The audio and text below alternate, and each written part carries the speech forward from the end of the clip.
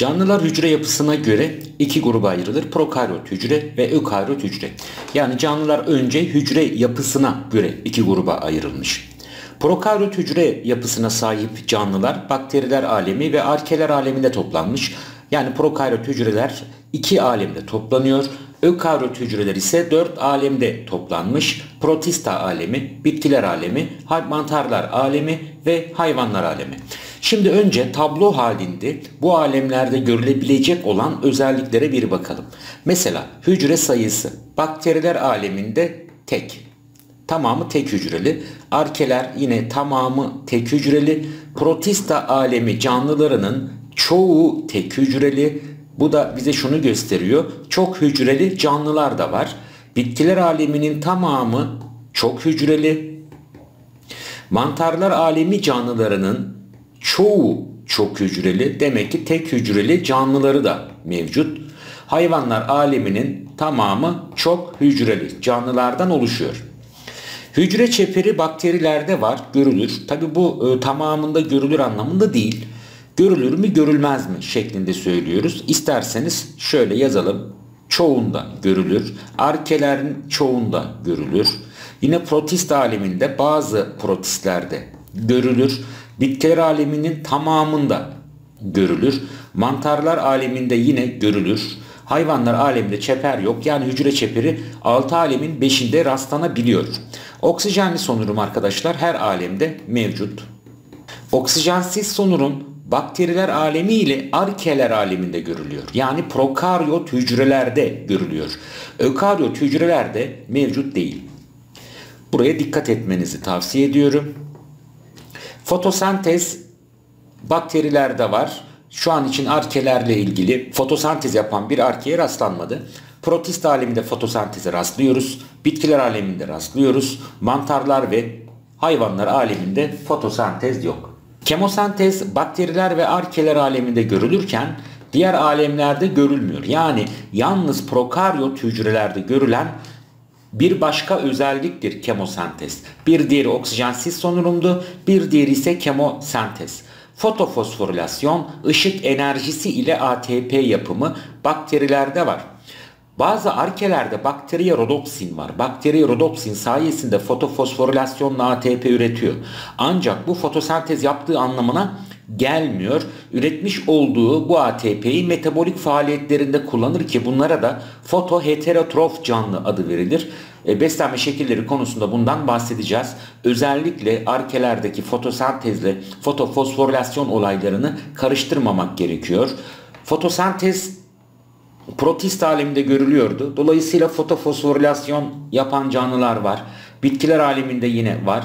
Mantarlar ve hayvanlarda fotofosforilasyona rastlamıyoruz. Parazit beslenme bakterilerde görülüyor ama arkelerde görülmüyor. Yani en azından şu ana kadar parazit bir arkeye rastlanmadı. Diğer tüm alemlerde bu beslenme şekline rastlıyoruz. Endospor oluşumu yalnızca bakteriler aleminde görülüyor. Bakın bunlar dikkat edilecek olan hususlar. Arkelerde ve diğer alemlerde endospor oluşumuna rastlamıyoruz. Ekstrem koşullarda yaşama yani sıra dışı koşullarda yaşama. Bu sadece arkelere ait bir özellik. Mikrofilament, mikrotübül ara filament. Arkadaşlar hücre iskeleti konusunda da anlatmıştık. Bu üç hücre iskeleti elemanı prokaryot hücre yapısında görülmüyor. Ökaryot hücre yapısında görülüyordu. Ancak prokaryotların kendine özel farklı hücre iskeletleri var. Holozoik beslenme yalnızca hayvanlar alemine özgü bir beslenme şeklidir. Heterotrof beslenmeyi arkadaşlar her alemde rastlıyoruz. Peki burada nereye dikkat edeceğiz? Bitkiler alemine dikkat edeceğiz. Bitkiler aleminde tam parazit bitkiler var. Fotosentez yapmıyorlar. Dolayısıyla e, bitkiler aleminde heterotrof beslenen canlılara rastlamaktayız. Hücre büyüklüğü arkadaşlar ökaryot hücreler prokaryot hücrelere göre daha büyüktür. Yani prokaryotlar küçük hücre yapısında. Halkasal DNA doğrusal DNA kısmına bakalım. Bakteri ve arkelerin DNA'ları halkasaldır. Ama diğer alemlerin yani ökaryot hücrelerde ise doğrusal DNA vardır.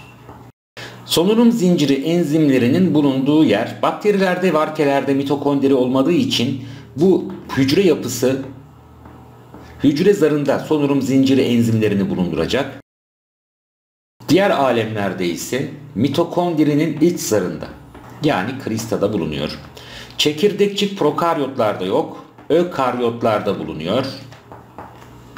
Histon proteinleri bakterilerde yok, arkelerde ve ökaryot hücre yapısındaki tüm alemlerde var. Sporla üreme protista alemiyle birlikte ortaya çıkıyor. Protista bitki ve mantarlarda var.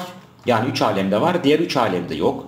Eşeyli üreme arkadaşlar arke ve bakterilerde yok. Yani prokaryotlar e, eşeyli yolla çoğalmıyor ama diğer hücre yapısı olan ökaryotların alemleri ve canlılarında buna rastlayabiliyoruz. Eşeğsiz üremeye her alemde rastlanır. Eşeğsiz üreme şekillerini de göreceğiz. Saprofit beslenme bakterilerde, arkelerde, protistalarda, mantarlarda ve hayvanlar aleminde rastlanıyor. Şimdi burada da dikkat edeceğimiz nokta hayvanlar alemi konusu. Zaten bunu anlatacağız. Solucanlar detrivordur yani saprofit olarak beslenebiliyorlar. Mitoz bölünme. Arkadaşlar mitoz bölünme bakterilerde ve arkelerde yok ama ökaryotlarda mitoza rastlıyoruz. Mayoz bölünme yine aynı şekilde prokaryot hücre yapısında görmüyoruz. Zaten prokaryot hücreler haploittir. Diğer e, alemlerde mayoz bölünmeye rastlıyoruz.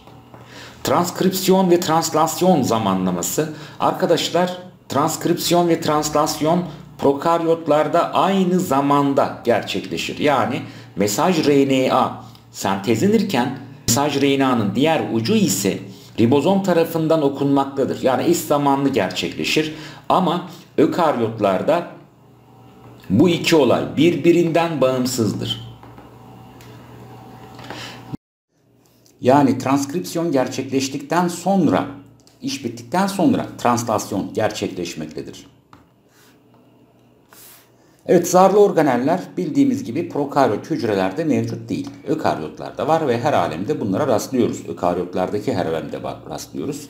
Endositoz bakteriler alemi ve arkeler aleminde yok. Endositoz ökaryot hücre yapısında protist aleminde rastlıyoruz. Bitkiler aleminde hücre çeperi var onda yok. Mantarlarda da yok. Hayvanlar aleminde rastlıyoruz. Egzositoz arkadaşlar yine e, prokaryot hücrelerde yok. Bazı YKS hazırlık kaynakları olduğunu yazıyor ama e, bu kesinlikle ve kesinlikle yanlış. Çünkü e, egzositoz için koful şartı aranmaktadır. Ve prokaryot canlılarda hücre, e, zarlı bir organel olmadığı için egzositozun olması da mümkün değildir. Salgılar özel bir mekanizma ile e, translokaz enzimleri sayesinde hücre dışına gönderilmektedir. Yani bu olay bir egzositoz değildir. Ama diğer alemlerde egzositoza rastlanmaktadır. Evet bakteriler alemine gelelim arkadaşlar. Şimdi bakterileri incelediğimiz zaman şurada en dış kısımda kapsül bulunmaktadır. Bulunabilecek yapıları sırayla yazalım. Onun altında hücre duvarı, en iç kısımda ise hücre zarı bulunuyor. Şurada halkasal bir DNA var. Burada plazmitler. Şuraya da ribozom çizili. Kamçı yine bulunabilen yapılardan bir tanesi. Şurada arkadaşlar kısa olan uzantılar var. Bu kısa olan uzantılara fimbria adı verilir. Uzun olan uzantılar ise pilus olarak isimlendiriliyor. Şimdi kapsülden başlayalım. Arkadaşlar kapsül her bakteride yok. Kapsül bazı bakterilerde var. Kapsül mukopolisakkarit yapısında yapışkanımsı bir maddedir. Aynı zamanda bulunduğu zemine tutunmayı da sağlayabilir. Ancak asıl var olma sebebi fagositoza karşı bakteriyi korur. Kim fagostoza karşı korunmak ister? Tabii ki patojen bakteriler yani bunlar hastalık yapan bakterilerde bulunmaktadır. Evet hücre duvarına gelelim. Arkadaşlar hücre duvarında peptidoglikan adı verilen bir madde var. Yani protein ve karbonhidrat karışımı. Zaten şurada peptido burada da glikan kelimesini görüyoruz. Protein ve karbonhidrattan oluşuyor. Her bakteride var mı? Yine bazı YKS kaynaklarında her bakteride bulunur diye yazıyor. Bu da kesinlikle yanlış. Mikoplazma bakterileri var. Mikoplazma bakterilerinde hücre duvarı yok arkadaşlar. Bu yüzden tüm bakterilerde bulunur cümlesi doğru bir cümle değil. Çoğu bakteride bulunur cümlesi doğru bir cümledir. Doğru bilinen yanlışlar var. Onları mutlaka düzeltmemiz lazım. Bu çeperlerinin kalınlıkları bakterilerde aynı mı? Çeper kalınlıkları bakteriden bakteriye değişiklik gösterir. İşte bu kalınlık farklılığı bakterilerin sınıflandırılmasında önemli bir rol üstleniyor. Mesela gram boyası var. Bazıları gram boyasını tutabiliyor, bazıları tutamıyor. Ve buna göre bakterilerin gram boyasına göre boyanmalarını veya boyanmamalarını sağlıyor. Gram boyasına göre gram pozitif ve gram negatif olarak sınıflandırılmasını sağlar.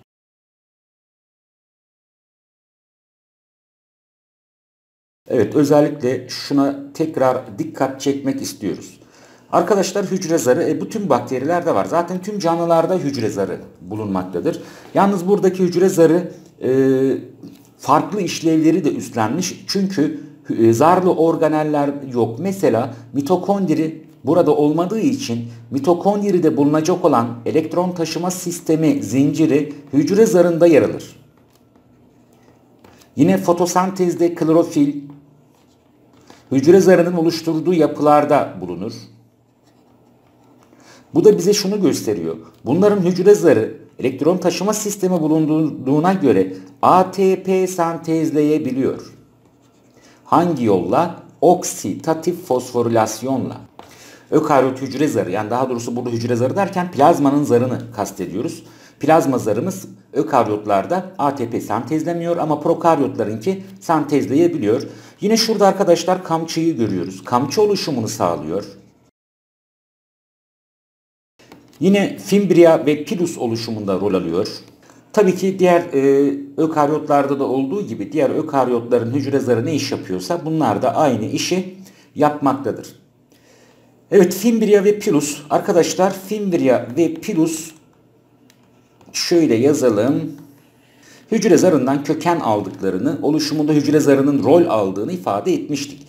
Fimbria arkadaşlar kısa, pilus ise uzun olan uzantılardır. Şurada görüyorsunuz zaten pilusu daha uzun. Fimbria'nın ise daha kısa olduğunu görüyoruz. Ama sayı olarak baktığımız zaman sayı olarak Fimbriyaların piluslardan daha fazla olduğunu görüyoruz. Fimbriyaların bulunma nedeni bulunduğu ortama tutunmayı sağlar. Bu bakterilerin birbirine tutunması, besine tutunması, zemine tutunması gibi tutunma olaylarında fimbriya görev alıyor. Pilus ise gen aktarımında kullanılır. Evet 10. E, sınıfta e, üreme konusunda da göreceğiz. E, gen aktarımı dediğimiz burada transformasyon ve konjugasyon gibi olaylarda piluslar aracılığı ile gen transferlerinde görev alabiliyor. Fimbria ve pilus arkadaşlar çoğu bakteride var. Yine tüm bakterilerde bulunur ifadesi doğru bir ifade değil. Şu ana kadar anlattığımız yapılar içerisinde sadece hücre zarı tüm bakterilerde var. Diğerleri bazı bakterilerde bulunur. Kamçı arkadaşlar yine bazı bakterilerde aktif hareketi sağlar. Ki bu hareketler taksis hareketi olarak adlandırılır. Yani göç hareketi olarak adlandırılır. Ancak burada dikkat edeceğimiz nokta şu. Hücre iskeletinde de söylemiştik. Ökaryotlarda kamçı mikrotübüllerden meydana geliyordu. Bakterilerde mikrotübül yok. Bu yüzden de mikrotübülden oluşmaz. Oluşumunda hücre zarı rol almaktadır. Stoplazmada halkasal bir DNA var. Plazmitler var. Ribozom var. Tek var olan yapısı bu. RNA'lar, nükleotitler yani e, enzim bir hücrede gerekli olan birçok madde yaşaması için gerekli olan birçok madde var. Yine bunun dışında depo maddesini yazalım. Mesela glikojen tanecikleri var. Yağ tanecikleri var. Bunlar sitoplazm içerisinde rastladığımız yapılar. Şimdi bakteri DNA'sı ve plazmitlerine bakalım. Bakteri DNA'sı arkadaşlar halkasal bir yapıya sahip. Dikkat edilecek olan husus şu. Bu halkasal DNA paketlenmiş midir? Paketlenmeyi histon proteinleri yapar. Bakterilerde histon proteini yok. Yine dikkat edeceğimiz bir başka nokta histon proteinlerinin bulunup bulunmaması. Yine bunların DNA'sı ya da kromozomları diyelim, şekilde de ifade edelim. En kromozomludur. Yani haploittir bunlar. Dolayısıyla siz bakterilerde mayoz bölünme diye bir bölünmeyi görmeniz mümkün olmayacak. Döllenme diye bir olayı görmeniz mümkün olmayacak. Dolayısıyla eşeğli üreme diye bir üremeyi görmeniz mümkün olmayacak. Çünkü bu canlılar haploid kromozomludur. Tabi DNA molekülü e, nükleoid adı verilen bir bölgede yer alır bakterilerde. Bir de bakterilerde DNA'nın dışında e, farklı DNA parçaları var. Bu DNA parçalarına plazmit adı verilir. Şimdi plazmitler de halkasaldır arkadaşlar. Halkasal bir DNA'dır bu. Bunda da yine histon yok. Sayıları Bir tane ya da daha fazla olabilir bakterilerde. Peki plazmitler metabolizmada rol alır mı? Şimdi bir hücre içerisinde hem e, ana DNA var. Bu ana DNA'mız halkasal. Bir de genler taşıyan farklı bir DNA var. Halkasal yapıda olan plazmitler var. Ee, acaba birbirlerinin işine karışırlar mı? Hayır arkadaşlar plazmitler metabolizmada görev almaz. Dolayısıyla siz bir plazmiti bakteriden çıkarırsanız bakteriler ölmez. O yüzden zaten hayatsal değil, hayati değil, yaşamsal değil. Peki plazmitin burada görevi ne? Plazmit arkadaşlar direnç genlerini bulundurur. Ne var bu genler içerisinde? Mesela antibiyotiğe direnç geni, ultraviyole ışınlarına direnç geni, örneğin ağır metallere direnç geni gibi, kuraklığa direnç geni gibi direnç genleri bulundurmaktadır. Arkadaşlar plazmitler bir bakteriden başka bir bakteriye aktarılabilir. Bu da bize şunu gösteriyor. Bir bakteri antibiyotiğe direnç genini başka bir bakteriye aktarabilir. Konjugasyonda e, konjugasyonda bu plazmitler bir bakteriden farklı bir bakteriye ama aynı tür farklı bir bakteriye gönderilir. Peki plazmit yine kimde var arkadaşlar? Çoğu bakteride var. Gelelim endospor oluşumuna. İlk sorumuz şu olsun. Endospor oluşumu bir üreme şekli midir? Hayır, üreme değildir. Peki nedir endospor oluşumu? Endospor oluşumu olumsuz ortam koşullarına karşı bir korunma şeklidir. Bakteri bu olumsuz ortam koşullarından kendini korumak isteyecektir. Peki olumsuz ortam koşullarında metabolizmayı ne yapması gerekiyor? Metabolizmayı durdurması gerekiyor. Niye? Çünkü olumsuz ortam koşullarında metabolizmasını gerçekleştirirse bu koşullar metabolizmasını bozabilir, DNA'sını bozabilir, enzimlerini bozabilir ve canlı ölebilir. Bu yüzden de metabolizmayı azaltması gerekiyor.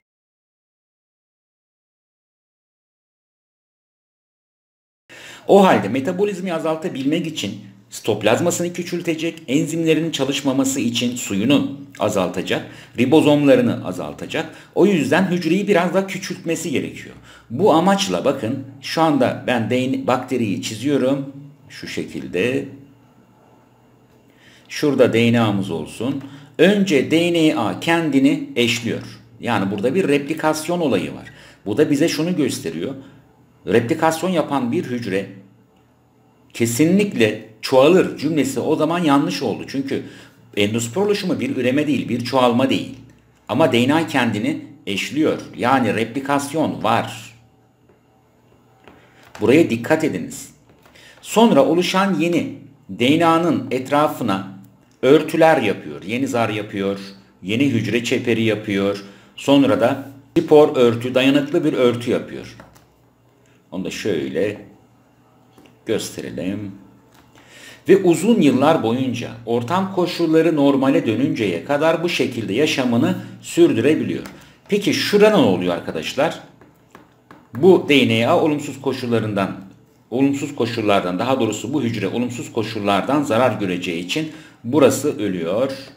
Burası koşullar normale geldiğinde tekrar yaşama geri dönüyor. E, dolayısıyla bir bakteriden bir bakteri oldu. Sayısal bir artış yok. Dolayısıyla bu bir üreme olamaz. Evet DNA işlendi. Hücre bölünmedi.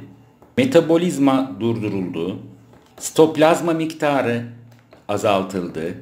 Stoplazma azalınca ribozom sayısı da azalıyor otomatik olarak. Ve enzim miktarı yine azalmış oluyor. Sonuçta da bakteri kendini bu şekilde koruma altına almış oluyor. Peki endosporu her bakteri yapar mı? Hayır. Endosporu yalnız bazı bakteri türlerinde görülen bir olaydır. Dikkat ettiyseniz şu ana kadar yapısal olarak veya olaysal olarak e, sadece hücre zarını söyledik tüm bakterilerde görülen olaylar içerisinde. Evet bakterilerde üremeye gelelim. Az önce bakterilerde eşeyli üremenin olmadığını söyledik. Yani mayoz yok, öllenme yok. Peki nasıl çoğalacaklar? Bakteriler eşeysiz çoğalır. Bir mikroorganizma arkadaşlar tek hücreli bir canlı. O zaman eşeysiz çoğalma çeşidi bölünerek olacak. Eşeysiz üreme çeşitlerinde anlatacağımız için burada değinmeyeceğim. Ancak dikkat edeceğimiz noktalar var. Nedir onlar? Mesela amitoz. Bir mitoz. Zaten amitoz kelimesi hiçbir bilimsel kaynakta geçmiyor. Amitoz yok. Arkadaşlar bazı YKS kaynakları amitozla bölünür derler. Amitoz diye bir kavram yok zaten. Ama e, şu şekilde de amitozu şu şekilde tanımlıyor, tanımlanıyor. E, çekirdek zarı erimeden gerçekleşen bir bölünme şeklidir diye. İyi de bakterilerin çekirdek zarı yok ki.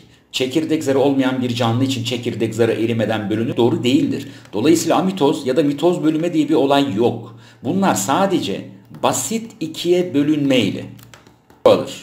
Bu bir mitoz değildir. Bu bir amitoz değildir. Evet arkadaşlar yine de şöyle isterseniz bir bahsedelim hızlı bir şekilde. Burada DNA'mız var. Hücrenin boyu bir miktar uzuyor. Şu şekilde gösterelim.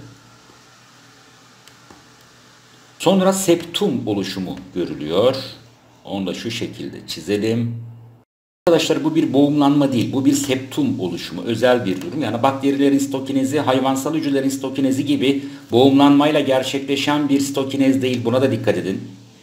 Uydurma bilgilerle donanmayın. Sonuçta iki bakteri meydana geldi. DNA işlenmesi var. Mitoz yok. Yani iyi ipliği oluşmadı. Kromozom ayrılması gibi bir olay yok. Zaten iyi ipliğine tutulmadığı için kromozom ayrılması olayı da yine görülmüyor. Geri kalan kısmını isterseniz eşeğsiz üremede anlatalım. Bakterilerde peki kalıtsal çeşitlilik nasıl sağlanacak? Çünkü bakteriler eşeğsiz yolla çoğalıyor. Hangi bakteriler eşeğsiz çoğalıyor? Onu da söyleyelim. Tüm bakteriler. Tüm bakteriler eşeğsiz çoğalır ve bölünerek çoğalır. Peki kalıtsal çeşitliliği nasıl sağlayacaklar? Kalıtsal çeşitliliğin sağlanmasında her canlıda görüldüğü gibi mutasyon rol alacak. İkinci nokta konjugasyon. Aynı tür bakteriler arasındaki gen transferi. Bunu da yine üreme konusunda anlatacağız. Bir diğer olay transformasyon. Bir diğer olay ise transdüksiyon. İşte bakterilerde kalıtsal çeşitliliği sağlayan olaylar bunlar. Konjugasyon az önce de ifade ettiğimiz gibi aynı tür iki bakteri arasında bir bakteriden diğerine gen transferinin gerçekleşmesi.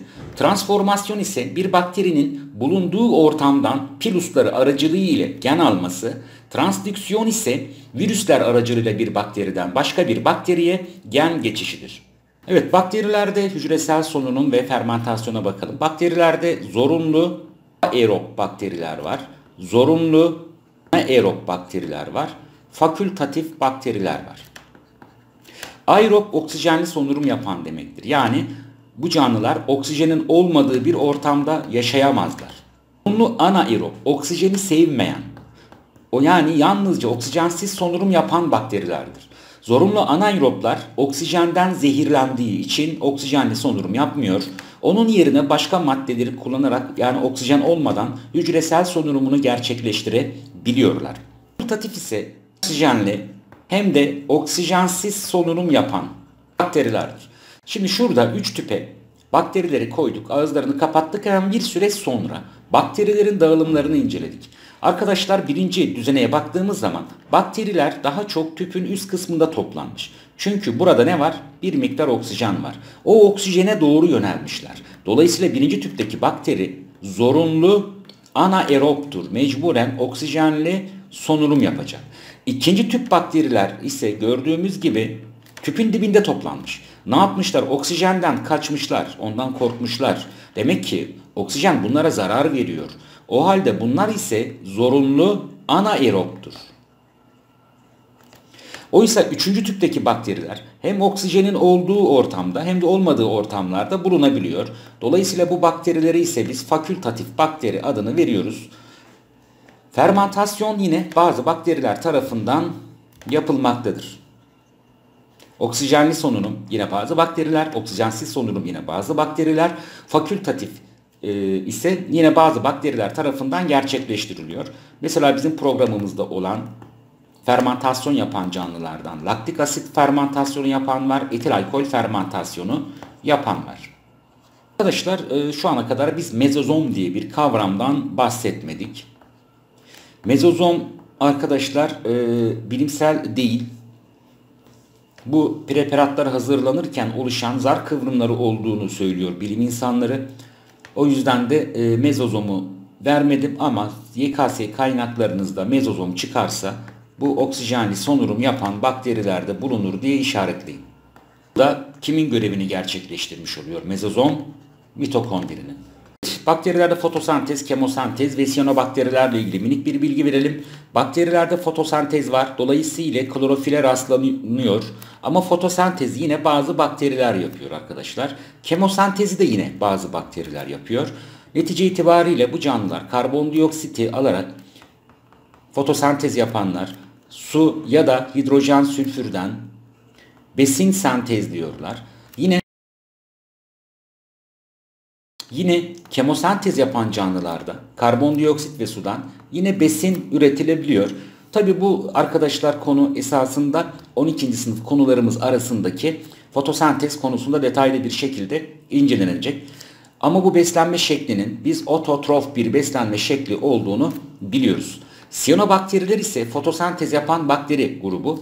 Bu bakterilerin en önemli özelliği atmosferin temel oksijen kaynağı olması, aynı zamanda atmosferin serbest azotunu bağlayabiliyor ve böylece bulunduğu ortamı azotça zenginleştirebiliyor. Tabi şuradan minik yorumlar yapabiliriz. Mesela fotosentezde ve kemosentezde her ikisini de incelediğimiz zaman bakın karbondioksit, su, H2S bunlar hep inorganik maddelerdir. Yani bu canlılar inorganik olan maddeleri neye çevirmiş? Organik olan maddelere çevirmiş. Hem fotosentez hem kemosentez için bunu söylüyoruz. Ha, fotosentezde foto kelimesini görüyoruz. Yani bu canlının ışık enerjisini kullandığını görüyoruz. Işık enerjisini kullanarak, klorofilleri aracılığıyla kullanarak bunlardan ATP elde ediyor ve sonuçta ise bu ATP'yi de besin sentezinde kullanıyor. Kemosentezde ise kemo kelimesi var.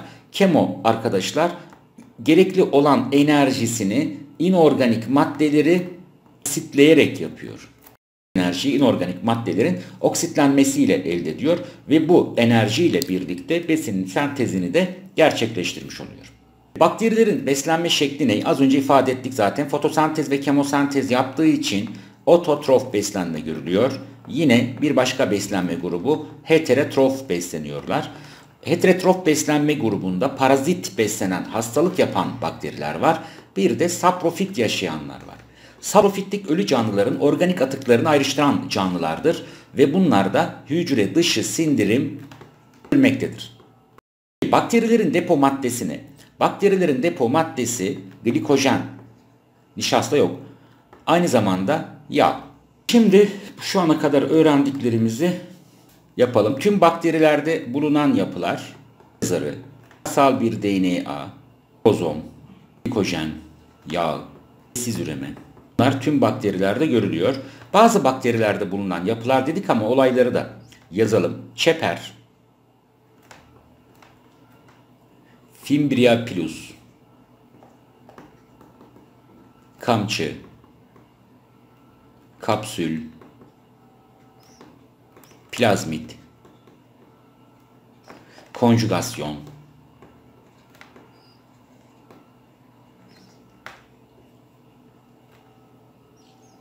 endosipor oluşumu.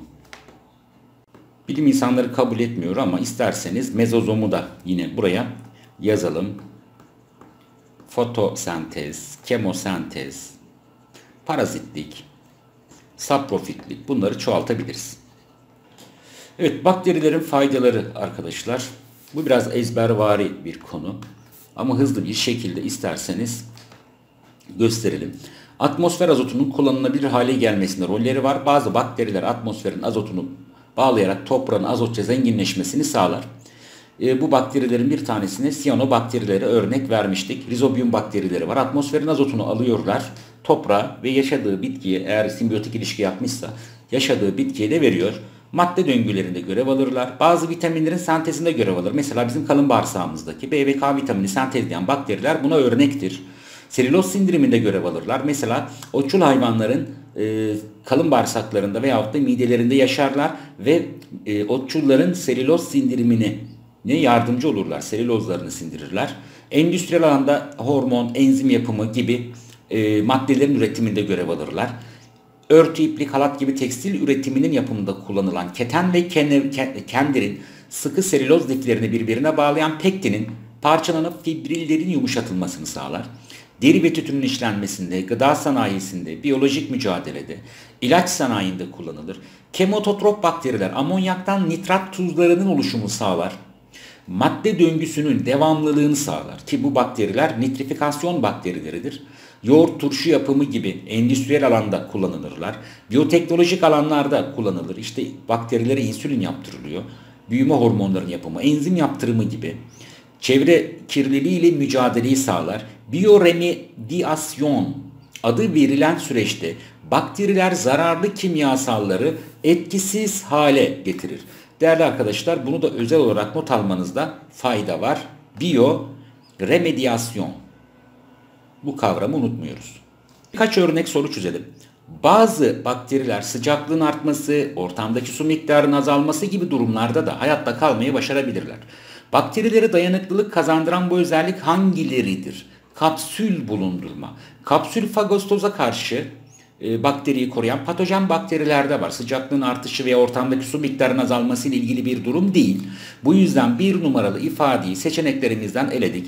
Endospor oluşturmaydı arkadaşlar. Olumsuz ortam koşullarına karşı bakterinin korunmasını sağlayan. Zaten elimize kalan iki seçenekte de var. Hücre duvarı içerme. Bu arkadaşlar sıcaklığın artması sonucunda oluşturulan bir yapı değil. O yüzden 3 numarada hatta DNA zaten halkasal DNA her bakteride var bu sıcaklığın artması sonucunda veya su miktarının azalması gibi durumda hayatta kalmasını başarması ile ilgili bir durum değil. Bu yüzden de cevabımız Burs olacak. Bakterilerle ilgili hangisi yanlıştır? Peptidoglikan yapıda bir hücre duvarı bulunur. Bakterilerin hücre duvarı peptidoglikan yapıda. Bu doğru. Halkasal bir DNA'ları var. Bu da doğru. Plazmitler hayati metabolik olayları yönetmezdi. Onu da ifade etmiştik. Bu da doğru. Saprofit olanlara enzimlerini egzostoz ile hücre dışına gönderir. Evet saprofit olanlar doğrudur. Enzimlerini hücre dışına gönderir. Ama egzositoz ile değil. Burada işi bozan egzostoz kelimesi. Çünkü bakterilerde koful olmadığı için e, e, egzositoz da oluşmuyor. D şıkkı yanlış. Depo maddesi glikojendir. Doğru. Bakterilerde endospor oluşumu sırasında hangisi görülmez? Endospor olumsuz ortam koşullarında oluşturuluyor ve metabolizmasını durduruyordu. O zaman su miktarını azaltması gerekir. Stoplazmasını azaltıp metabolizmanın gerçekleşebilecek muhtemel metabolik alanı azaltması gerekir. Hücre bölünür diyor. Hayır arkadaşlar hücre niye bölünsün ki? Adam kendini koruma altına alıyor. Amacı sayısal artış ve çoğalmak değil. Endospor zaten bir çoğalma değildi. O yüzden bölünme diye bir olayı gerçekleştirmeyecek. Zaten metabolizmasını durdurmaya çalışıyor, azaltmaya çalışıyor. Hücre bölünürken bölünme öncesindeki hazırlıklarını yapması gerekiyor. Yani metabolizması biraz hızlanabilir. Bu yüzden C seçeneği doğru bir cevap değil. DNA özellikleri korunuyor çünkü DNA kendini eşliyor. DNA kendini eşlediği için kopyasını çıkarıyor. Hiçbir farklılık olmuyor. Enzim miktarını, sitoplazma miktarını azalıyor diyorsak o zaman otomatik olarak enzim miktarımız da azalmış oluyor. Hangisi tüm bakterilerde ortaktır? İnorganik maddelerden organik madde yapımı. Az önce de ifade etmiştik. İnorganik maddelerden organik madde yapımını sadece ototrof bakteriler yapar. Bu tüm bakterilerde görülmüyor. İnorganik maddelerin oksidasyonu ile ATP yapımını bunu kemoototroflar yani kemosentez yapan canlılar yapıyor. Her bakteri yapmıyor. DNA işlenmesini DNA işlenmesi takip eden hücre bölünmesi ile çoğalma. DNA işlenmesini takip eden hücre eşlenmesiyle çoğalmayı tüm bakteriler yapabilmektedir. Yani bu ortaktır. Ki buna biz ne diyoruz? Eşeysiz üreme yani bölünerek çoğalma. Konjugasyon ile eşeğli üreme ile genetik çeşitliliğini artırma. Konjugasyon tamam ama her bakteride görülmüyor zaten ama aynı zamanda konjugasyon zaten bir eşeğli üreme değil. Bu da yanlış. Basit organik maddelerin yapısındaki kimyasal enerjinin oksijen yardımıyla ATP enerjisine dönüştürülmesi. Arkadaşlar bu tüm bakterilerde ortak ama şu kelime çıkarılırsa çünkü basit organik maddelerin yapısındaki enerjiyi ATP'ye tüm canlılar dönüştürüyor. Ama bu seçenek oksijen yardımıyla diyor. Yani oksijenli sonunum diyor. Ama oksijenli sonunumu her bakteri yapmadığı için bu da yine ortak değil, yanlış. Bir bakteri türü tüpe konulup tüpün ağzı kapatılmıştır. Bir süre sonra bakterilerin tüpteki dağılımı şekildeki gibi olmuştur. Yani yukarıya toplanmış. Niye? Çünkü orada oksijen var. O zaman bu bakteriler zorunlu aerop bakterilerdir. Yani oksijenli sonurum yapmaktadır. O zaman bu bakteri türüyle ilgili hangisi yanlıştır diyor. Oksijenli sonurum yapar. Evet doğru. Elektron taşıma zinciri plazma zarında bulunur. Bunların arkadaşlar mitokondrileri olmadığı için elektron taşıma sisteminde düzgün bir şekilde sıralanması için zara ihtiyaç var. Bu yüzden tek olan zar hücre zarı bu yüzden de ETS plazma zarında bulunuyor. Eşeysiz üremesini mitoz ile bölünerek gerçekleştirir. Evet eşeysiz üremesini bölünerek gerçekleştirir bu doğru ama mitoz ile gerçekleştirmez. Dolayısıyla C seçeneğimiz yanlış. Konjugasyon yapabilenleri vardır ki yapabilme ihtimali var. Soru konjugasyon yapar dememiş zaten. Yapabilir mi diye sormuş. Yapabilir. Bazı bakterilerde görülüyor. Hücre duvarları yine çoğu bakteride zaten bulunuyor. Bu yüzden de C şıkkı yanlış bir seçenek. Hangisi bakterilerde görülen yapılardan biri değildir? Mikrotübül. Evet seçenek bu olacak. Çünkü bakterilerde mikrotübül yok. Mikrotübül ökaryotlarda bulunan bir hücre iskeletidir.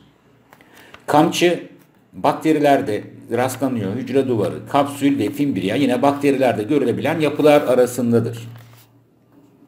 Dört ayrı tüpteki basit kültür ortamlarına bazı maddeleri eklenerek bakteriden üreme ve gelişme durumları incelenmiştir. Artı ile görülenler gelişme ve üreme var. Eksi ile gördüklerimiz gelişme ve üreme yok. Basit kültür ortamında çoğalıyor. Ama ben bu basit kültür ortamına A ve B maddelerini verdiğimde bunların çoğalmaları duruyor, gelişimleri duruyor. O zaman burada ya A maddesinden ya da B maddesinden ya da iki, ikisi birlikte bu bakterilerin çoğalmasını engelliyor. Yani A ve B'de sorun var. Ama bakın B'yi C ile birlikte verdiğim zaman çoğalıyor. Demek ki sorun B'de değil. Aslında cevabımız da ortaya çıkmış oldu. A maddesi bunu rahatsız ediyor. Bakın bu A maddesini tekrar 3. tüpte koyduğumuz zaman yine çoğalma engellenmiş. Dolayısıyla burada hangi madde bakterilerin gelişimini ve üremesini olumsuz etkilemektedir sorusunun cevap çıkmış oluyor. Cevabımız ne olur? Yalnız 1 olur.